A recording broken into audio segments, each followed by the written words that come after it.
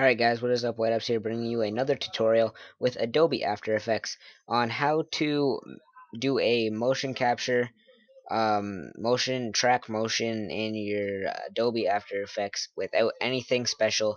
All you need is the After Effects, which you can go on one of my older videos and look at how to get it for free.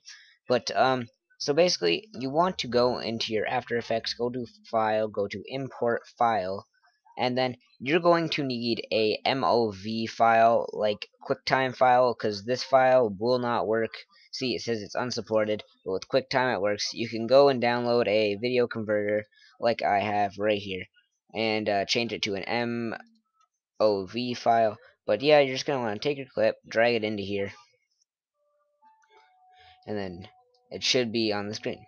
Alright, so what you're going to want to do now is go to View, and or no. Well, where the fuck are you? Yeah, view. No. Windows. There you go. And go to tracker controls right here. And you want to tick that. If I untick it, this part goes away. If I tick it, it pops up right here. Alright, so take your video that you want to um, motion track to. Mine's right here. It's lagging right now for some reason. But uh, let me just close my Sony Vegas. Alright. And uh, the video here, track motion, and this little point's going to pop up. This is the point that you're going to want to track whatever to. But you can't just put it on anywhere. Like, say I want to put it right here in the middle. If I do that, this is just to uh, do the tracking with if you hit this play button. You're going to notice it moves around a lot. Well, that's not too good of an example because it doesn't. But, uh, let's find an area where it's going to move around a lot. Um, if I can grab it here, goddamn. Okay, let's just go right here where it's all black. Alright, play. See, it moves around a lot, and your text is going to do that. See, it's moving, it's moving. We don't want that. So you're going to want to go to an area with high, um, uh, um, high area where it's like white and the rest is black or something. So say I just want to track my motion right to there. Hit this play button and well maybe it would help if I go to the beginning. Track motion. Take your little arrow, move it over to where you want to track it. I'm just going to track it there. Hit the play button. It's going to track your uh, video now, and it's just going to go through it and do the points where it's going to track.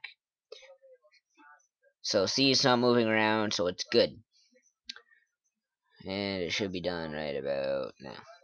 Alright.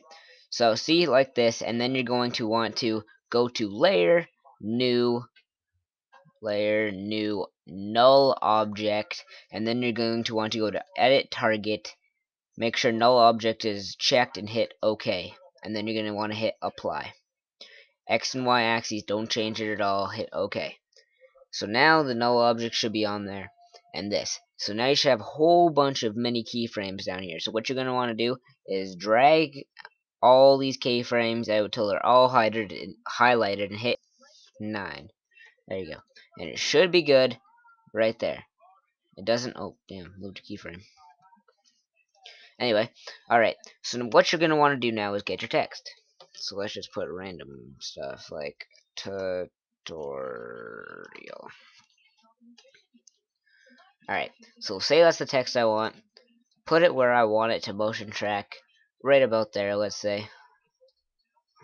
Where I want it. Right about there.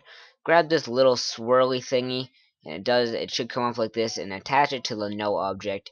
Hit the play button, and it should be motion tracked like this. See, it's moving with the camera. It looks motion tracked. Could use it a little bit bigger, though.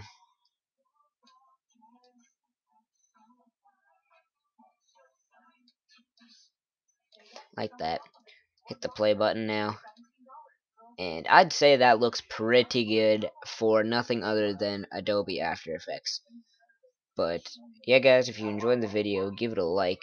And I'm going to render this out and put it at the end of the video just to show you what it looks like. But yeah guys, uh, thanks for watching. Ops out.